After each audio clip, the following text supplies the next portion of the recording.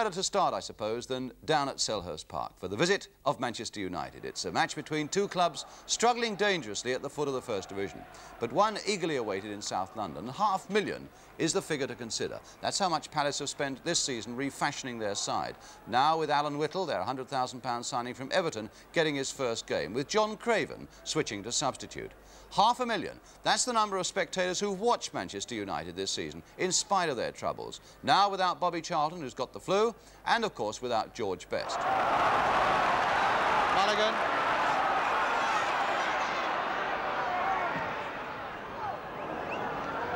Don Rogers.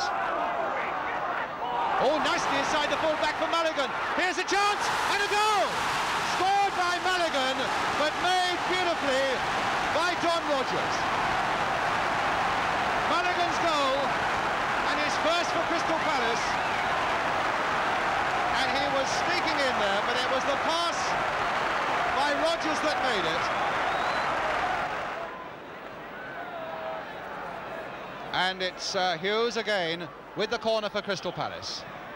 Hit low again. Payne. Blythe was right in there. Payne. United holding off them. Whittle now with a shot and a fraction pass and pushed there by Stepney. And Whittle so close to adding number two on his first appearance. And Manchester United simply don't know which day it is. Tony Dunne still getting treatment. Taylor turned in again.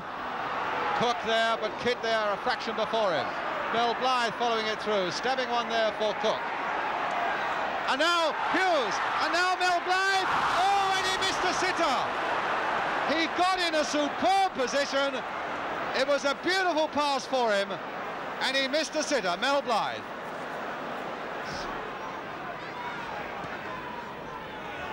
Charlie Cooke. Scorching forward again. Whittle had moved offside, came back onside. Hughes, a lot of space. Still Hughes, still Hughes. Whittle, a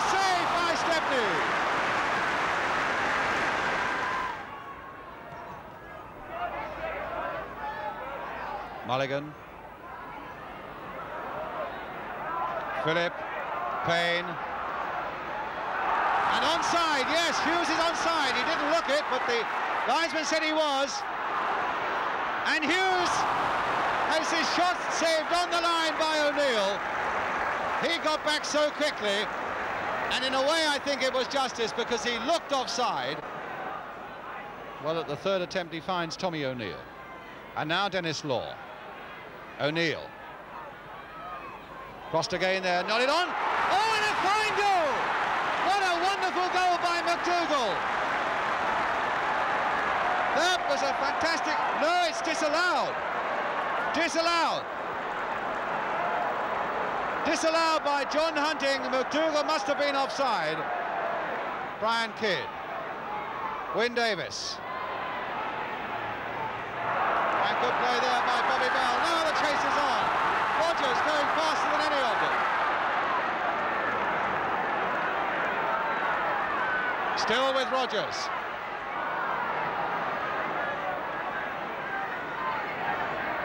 All played inside for Mulligan.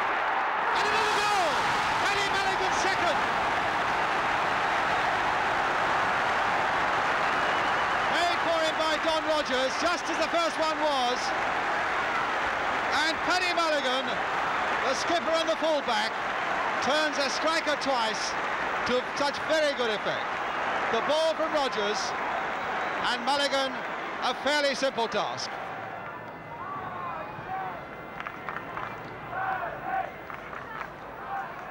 Whittle. Rogers, and he's onside, Don Rogers. Kicks it one side now. That's there. That's number three. Tremendous presence of mind by Don Rogers. Made for him by Alan Whittle. But Rogers, in a way, doing a Pele. Turning it one side of uh, Stepney, running the other, and then finding the net to put Crystal Palace 3-0 ahead. This time for Morgan. And with Tom Tony Young right in there as well, but Payne's challenge beating him. Whittle coming in, and now Rogers away again. Well, he got him going one way, got him going the other, just over. That would have been a marvellous goal by Don Rogers, because his running was so sure, and he really turned Sadler inside out, and then saw Stepney leaving a gap on that far side and aimed for it. Law, Young right in there, Sadler in there too. And instead it's Rogers now. Oh, there's a chance for the break. Rogers going the length of the field. And still going on. And he's got the pace to get beyond uh, Buchan. And the shot. Well, that was a tremendous run again by Rogers.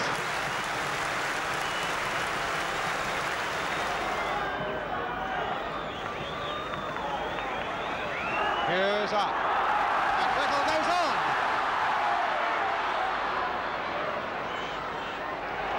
Hughes. Whittle. Well, that's incredible. Yes! Alan Whittle! Alan Whittle!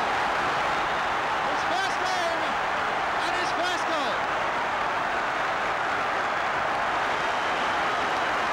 There was still no challenge in that united defence.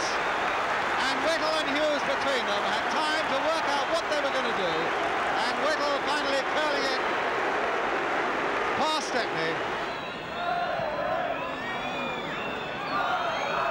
And you can't help thinking the effect of all the problems off the field have shown themselves on the field as well. Blythe coming in for Palace.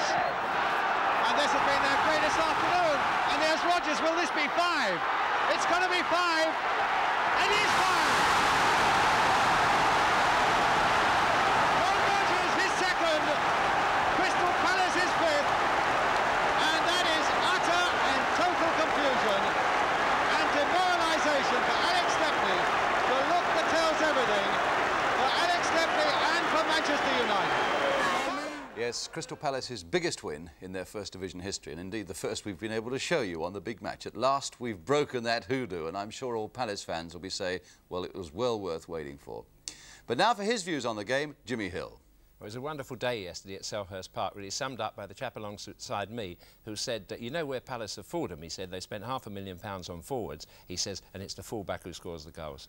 but never, never mind about uh, the joke about Paddy Mulligan. What a performance he gave for Crystal Palace yesterday, and indeed what a skipper he's proved for the side. He really gives that defence solidarity at the back. His coolness really is infectious as he picks the ball up here always in command of the situation, always ready to move forward. Not only you've got a defender who's cool and keeps it together at the back, but you've got an extra right winger in your side when you've got Paddy Mulligan. There he is there, crossing this ball, starting the move, but watch how he's gone on the run down the wing, and that beautiful through ball there from Don Rogers puts him in this position. Stepney covers the cross, Mulligan sees it and slides it the other side him side of him into the net. But what about Don Rogers? A revelation, his performance yesterday. I don't think I've seen a more exciting performance all season from one player. He, he, linked very well with Whittle. You see them there on the right wing, the two of them together, as if they've been playing together all their careers, came together yesterday for the first time and really were a menace throughout the game. Both have pace to spare. They're always threatening defenders with their running ability. See here how Whittle wins this ball when he knows that if he gets it to Rogers, he can put him right through into his opponent's half. And of course, when Rogers is in that position, he doesn't lose ground. He throws Sadler away there and misses the goal by six inches. A lovely skill from a beautiful player. It's to South London on a blustery day for the derby game between Crystal Palace and Chelsea. Palace again in the throes of a desperate relegation struggle. But at least the Palace players uh, should be in the right mood for this one. And for skipper Paddy Mulligan, the number two, is to return to the side after six games out with injury, now facing his old Chelsea teammates. But the former Chelsea star Charlie Cooke is out with injury. Bobby Bell, their strong defenders, down with flu. It gives a first league chance to the 19-year-old Scot Jim Cannon. He'll be wearing the number six. So there's a few moments here for Paddy Mulligan and Eddie McCreadie to talk over old times. But for McCreadie, it's also a time to contemplate once again just how badly Chelsea have been hit by injuries. Now it's striker Chris Garland who is unfit, and so it's the chance for manager Dave Sexton to try a couple of his promising youngsters, 17-year-old Brian Bason at number 7 and 18-year-old Ian Britton at number 11. Played on for Possee, and a nice one through for Possee as Rogers goes through.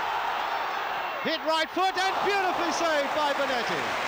But a superb sweeping move by Crystal Palace. Rogers with the finishing touch, but a nice one too that he played with Possee. And now Mulligan. Well, Hinton nodding that straight to Philip. And it's still not away yet. Hinshelwood with it now. Philip letting another one fly, and deflection and a goal! Oh, and it's a goal! 1-0 to Palace. Philip was the man who let it go. The crowd. Philip really let it go. There was a deflection that put it wide of Bonetti and high into the corner of the goal, and it's 1-0 to Crystal Palace. Hinton still lurking there, though. A low-driven one again. McCreadie hoped to get to it, and Philip getting it away to Possee. And now for Rogers. Harris is screaming back to try and stop Rogers, and Rogers is on his way. Played now for Whittle, and straight at Bonetti. Beautiful move by Crystal Palace. Exciting to watch, and deadly dangerous to face for Chelsea. It's with Rogers again, the delicate little chip this time, and Cannon! Oh, Cannon got it! Well, and he deserves it. Most certainly he deserves it. He's played superbly in his first league game in defence. He had his name taken almost before the game had started. He's marked Osgood well, and now from that free kick, in by Don Rogers, Cannon is there to make it 2-0. 10 minutes of the second half gone. Hinton's header, but it falls for Rogers. Harris, Possee! Oh my goodness, what a shot! Bonetti couldn't have known too much about that, and it was really a half chance that came off the boot of Harris. Well, I don't know whether the whistle's gone, the players don't seem to know, and the referee decides that the game goes on. And now it's through for Whittle. Now, is that number three? No!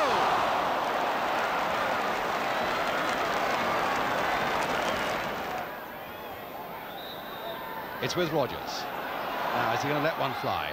Well, it's in the right position for him. Looked as though he really lost his chance there, as though he'd poked it just a little too far ahead of him for that shot.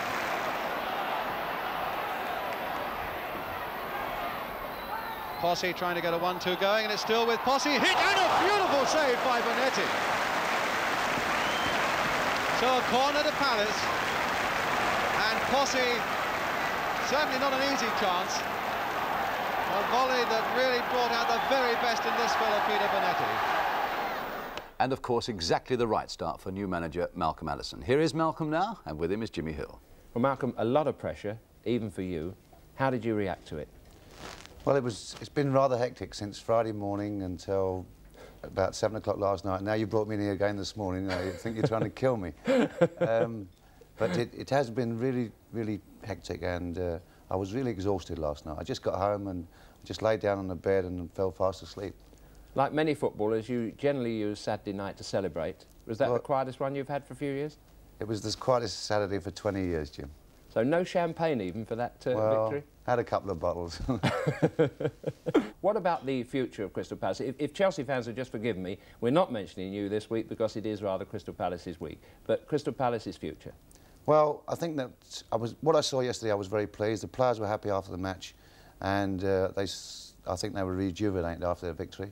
And I think we'll get down to work this week, and uh, we'll sort out any small problems we have, and get out of trouble. What about those two points yesterday? The best two points I've ever earned in my life. Malcolm Allison, thank you very much indeed. Manchester's loss, unquestionably London's gain.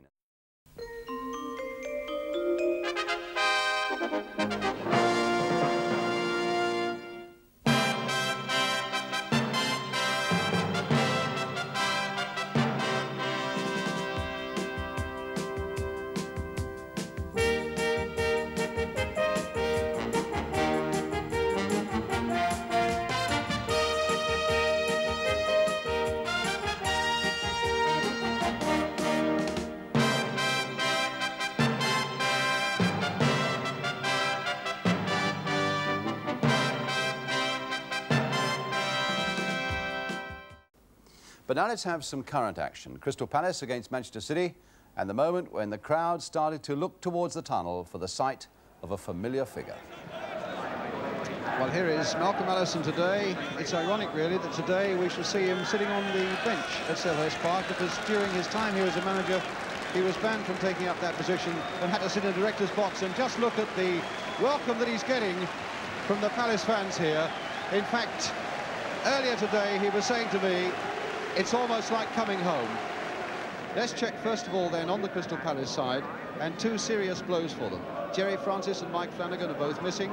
Flanagan's got a hamstring. Francis is almost fit, but manager Terry Venables decided not to risk the former England captain. Steve Kember continues in the midfield, and back to the attack comes Dave Swindlehurst. As for Manchester City, they had two injury blows yesterday, when Colin Viljoen and the Pole Kazi Deyna were both ruled out. Ranson again. Supported by Reid, the number 10, but there were enough Palace shirts there to mop up that little situation. Swindlehurst, good control, a nice little ball play there for Walsh. And in turn for Murphy, Ian Walsh again. And getting it across. Oh, and Swindlehurst almost got the touch in. Beautiful bit of play again by Crystal Palace. When the ball comes through to Walsh, played across the goal there, and Swindlehurst couldn't quite touch it home. Bennett. Mackenzie trying to get on the action as well, but uh, it's Murphy coming away from Crystal Palace, slanting a ball there. Clayton really didn't know where it was. And Steve Daley putting it straight to Hilaire. It'll come back to Hilaire again. A chance for a shot, a little chip, oh, just marginally over. And Hilaire nearly punishing Daley for that mistake of his. Daley planting the ball straight at Hilaire, and Hilaire finding room to get in a shot, and what a lovely little chip it was, just over that City crossbar. Daley. Hilaire wanted to handle that ball, and here's Silkman by Mackenzie's pass. Power going outside him. Silkman looking to get a shot in, and what a good one, and what a good save. Well, there's no shortage of really brilliant football here today. John Burridge coming to complain about something. Got a cut on the head there, maybe. And while that gets a bit of attention, and he must have hit his head on the post as he made that save. My word, what a good save it was, though. Um, and it's Silkman who cuts in there. Let's go with the right foot, curling in, and a really miraculous save by Burridge. Terry Venables very happy indeed with the way that Palace have been playing, even though they haven't been picking up point, the number of points they picked up at the start of the season. They've won five games now without a win. But that's a goal by Walsh.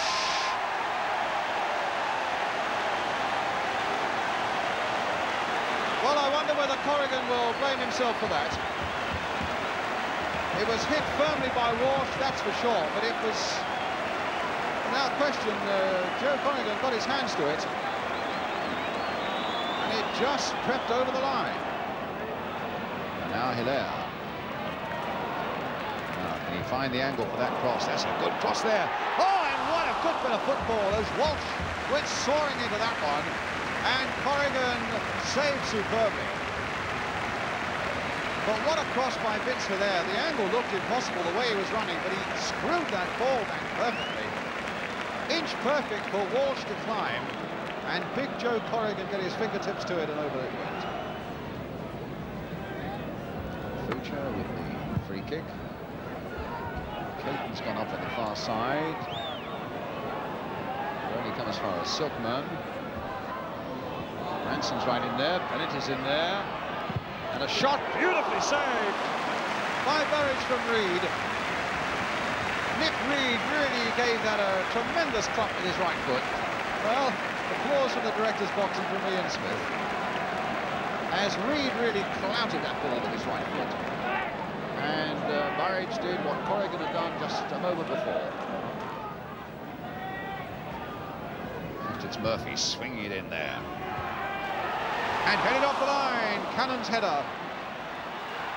And Swindlehurst has put it in.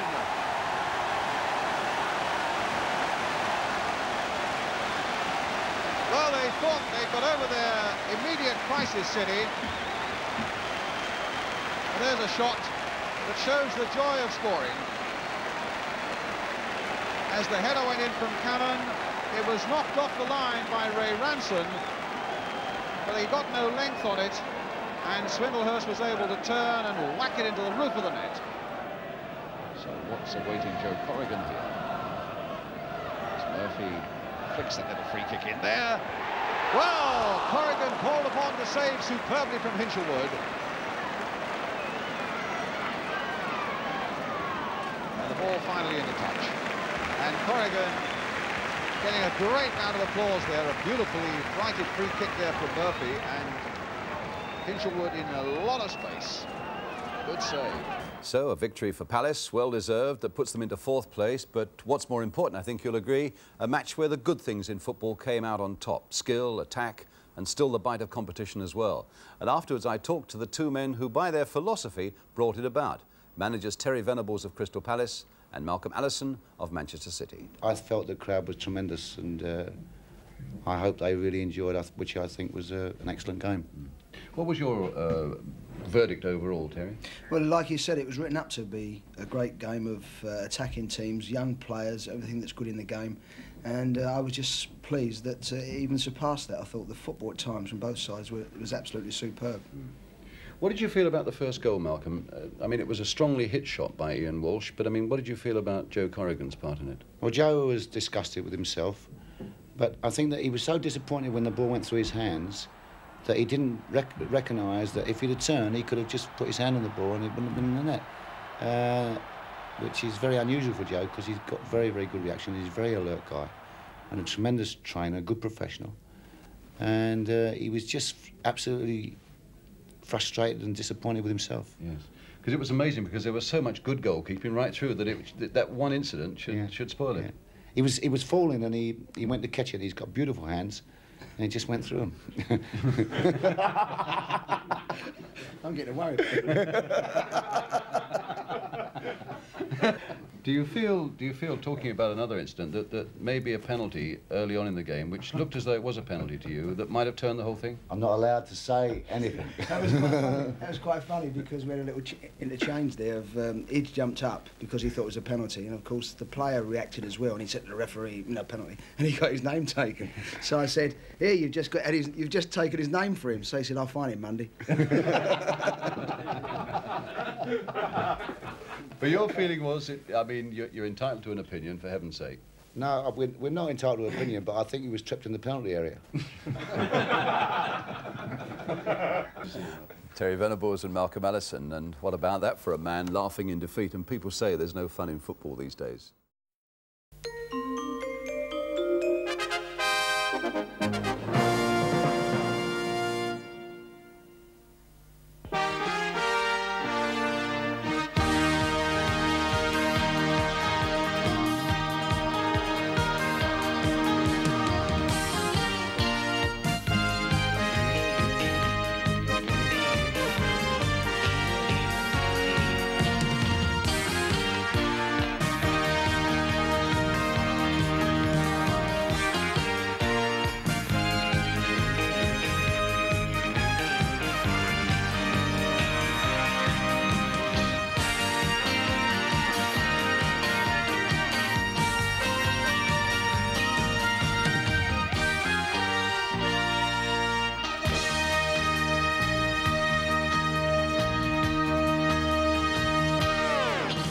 Now it's Crystal Palace down from the First Division against their South London neighbours Charlton Athletic, fresh up from the third.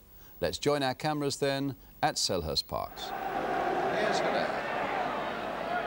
Played in again for Walsh. Hands down. Oh, now Hilaire again.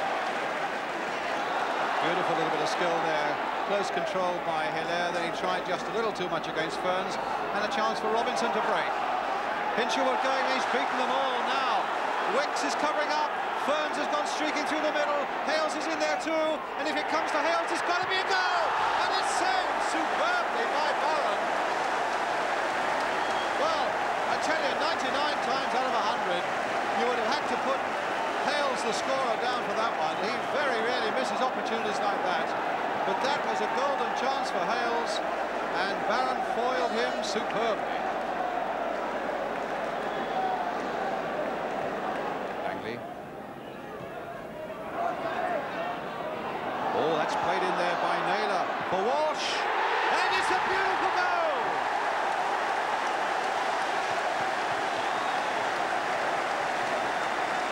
Ian Walsh puts Palace ahead with a scorching goal.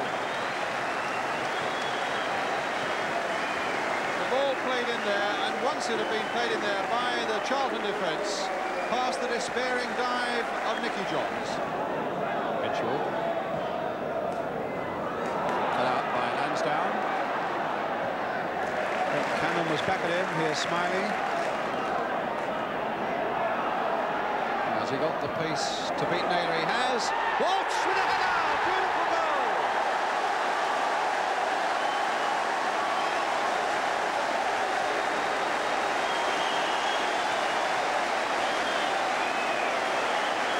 Smillie's cross was perfection. But that was a good strike by the Welsh international, Ian Walsh, because he came in on it superbly and guided it perfectly there, just inside the post. Well, early days, but Palace looked quite good for long spells, I must say, and I think I'd be a little optimistic about their chances this season. Charlton, well, as manager Alan Mullery told me, I'm not too displeased. I saw some good things, and after all, he said, we had the best two chances in the game. Derek Hales in the first half and Don McAllister in the second, so it seems everybody was happy.